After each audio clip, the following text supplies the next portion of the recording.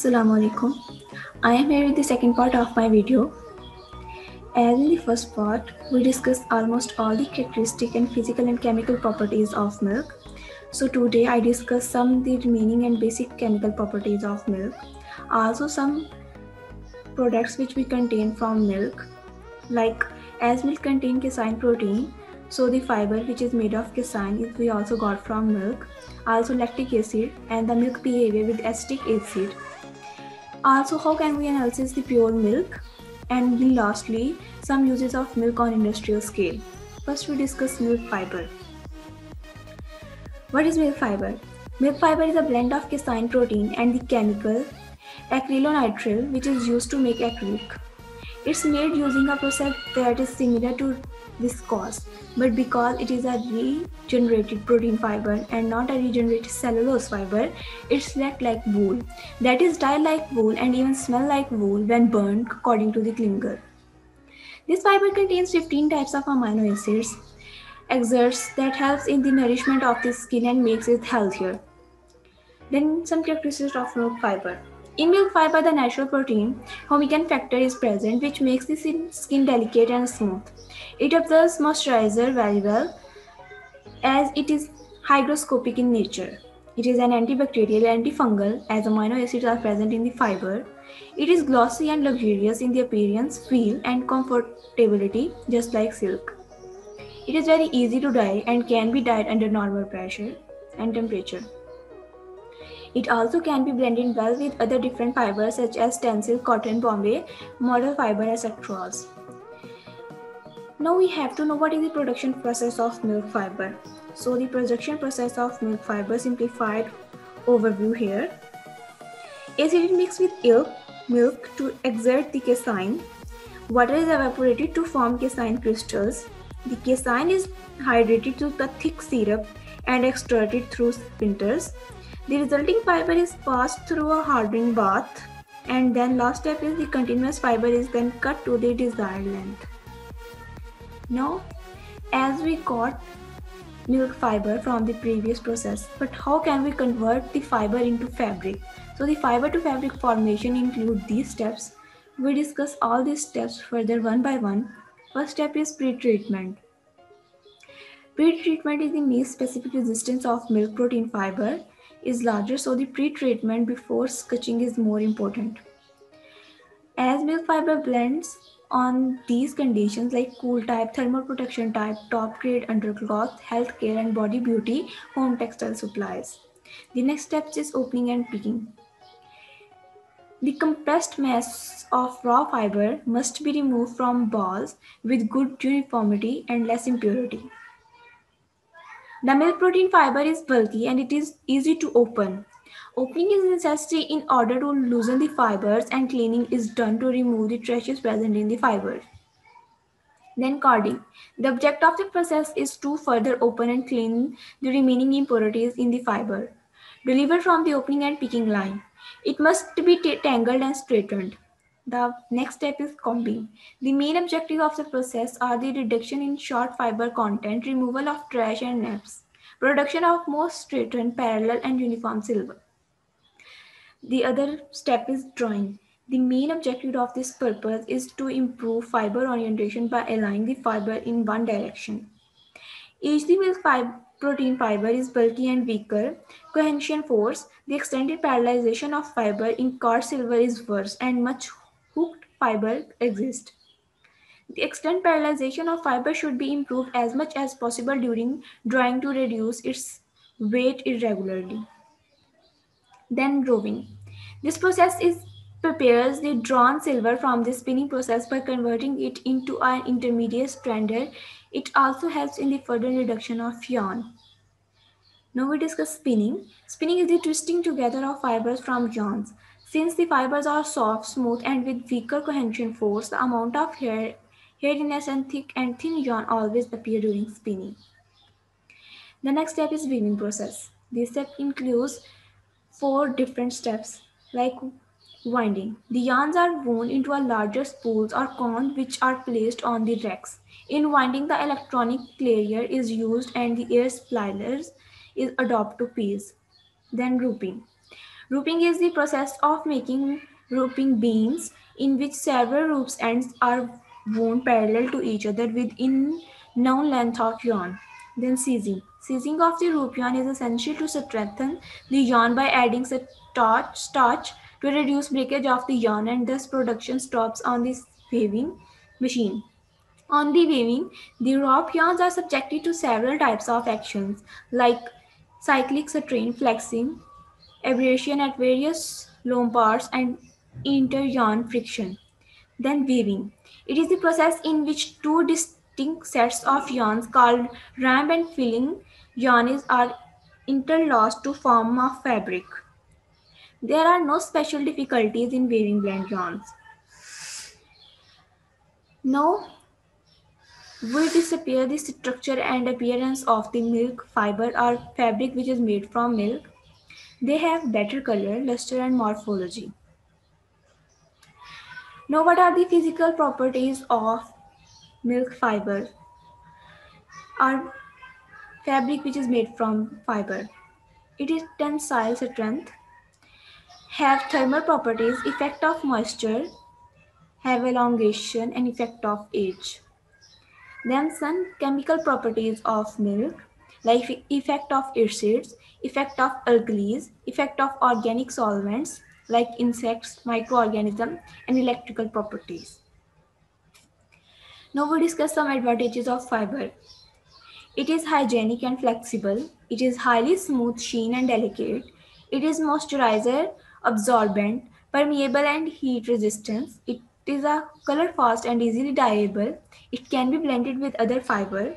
It is removable, biodegradable and eco-friendly fabric. It is great for sensitive skin as it has the same pH level as human skin. It is environmental friendly like eco-friendly and is considered as green product. It contains 15 amino acids and natural antibacterial rate is above 80% so it can it has sanitation function as milk fiber has disadvantages so it also has some dis- disadvantages. Which is it gets wrinkles easily after washing and needs to be ironed every time. It should not be washed in machine and that is because it's not very hard fiber. It has low durability due to abundance of other fabric like polyester. Milk fiber never really became that popular. It is also a quite expensive now we move to the further some applications of milk fiber, uh, where we in which type of cloth we generally use milk fiber. We use it in intimate garments, children garments, t-shirts, sweaters, women garments, sportswear, bedding, and eye masks. Then aftercare of the milk fiber are the fabrics which made from milk fiber. Washing. Garments containing meal fiber should be washed with care and treated with gent- very gently. High temperatures and strong acid or alkaline condition must be avoided. Neutral detergents are preferable for washing. Drying. Garments should be dried as wool, care being taken to avoid high temperatures. Ironing. The full soft handle of the garments containing casein will be maintained if they are slightly Damp are almost dry before being ironed or pressed. Dry cleaning. Milk fiber is not affected by dry cleaning solvents and garments containing casein can be dried clean readily as wool. Then perisence of lactic acid. The simplest method of lactofermentation is to submerge a food that naturally contains lactic acid bacteria such as cucumber into a brine or water of salt. Fermented milk, yogurt, and, and sardage may also ferment on their own, but often a starter culture is used to ensure safety and consistency of flavor. Lactic acid changes sensory of the rheological qualities of milk and gives better storage properties to fermented product. As a nutrient, it is, a, it is utilized in the body as a source of energy, thereby providing 3.5 kilojoule kilocalories per gram or 15 to 2 kilojoule per gram. Then we discuss the presence of acetic acid in milk. The lowering the pH of the milk with the addition of a common acid such as acetic acid affects the solubility of the milk eh, protein casein. Casein can coagulate in acid conditions, forming clumps that are easily visible during this process. Then method of milk analysis. First method is preparation of sample which include these steps like warm the sample to 35 to 40 degrees Celsius by transferring it, it to the beaker or keep it in a water bath maintained at 40 to 45 degrees Celsius temperature. Stir slowly for proper homogenization. Mix sample thoroughly by pouring back into the bottle mixing to uh, dissolve any residual fat sticking to the sides and pour it back into the beaker. Allow the sample to come to the room temperature like 26 to 28 degrees Celsius temperature and withdraw immediately for analysis. Also, a method is uses specific gravity. For this purpose, we use an instrument called lactometer. After 12 hours of milk rising 0.001 to 0.0, uh, 0.0013 reading. Then determination of pH. For this purpose, we use pH meter, which calibrate the pH meter. The average pH is 6.6 due to the presence of lactic acid. Determination of total solid. Take a weight of crucible. Weight 5 gram of milk in a crucible. Put a crucible in a water bath until dryness. After complete dryness, put the crucible in an oven and wait after cooling. Determination the percent of total solid. Then determination of fat in milk.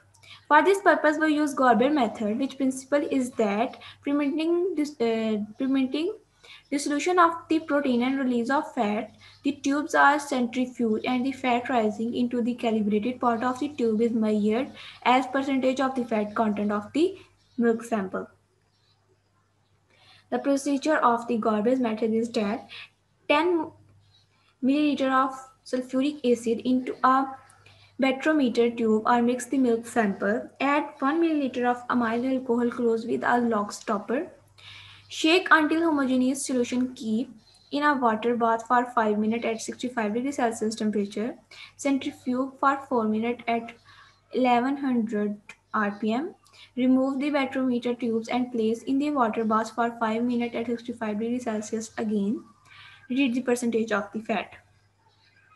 Then determination of viable bacteria count. For this purpose, we use the pour plate method. After preparation of the 10-4 uh, serial dilution from the milk sample with Ringer solution. Now, in the last, we also discussed some industrial applications of milk. First, we use milk in shaving cream. You can make your shaving cream using milk. You can do this by creating a paste from powdered milk and water and use this paste for shaving. Rinse off with water to see a supple skin as in the final result.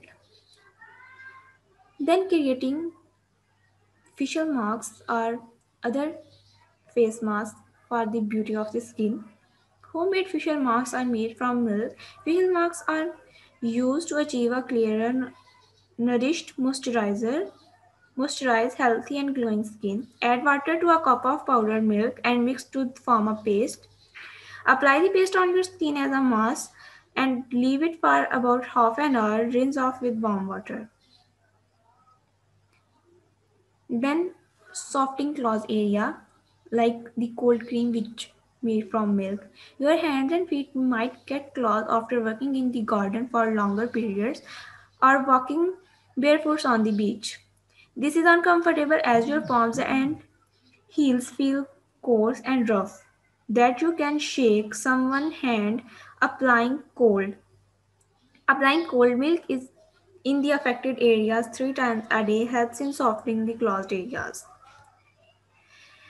The next one is polishing furniture with milk. Milk is another important ingredient that is used in polishing furniture. You can polish your furniture using a mixture of milk and lemon. You can choose to add your favorite oil to make your furniture smell good, like coconut oil.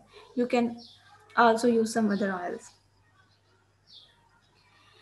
The next one is that Milk also helps in the growth and cleaning of plants. People tend to move their plants inside, especially in the cooler seasons. When the plants are inside, their leaves are their leaves can become dusty. Use a rag dipped in milk to clean the dusty leaf and rinse with water. Thank you so much. If you have any question regarding to this topic, you can ask me in comment section. Thank you.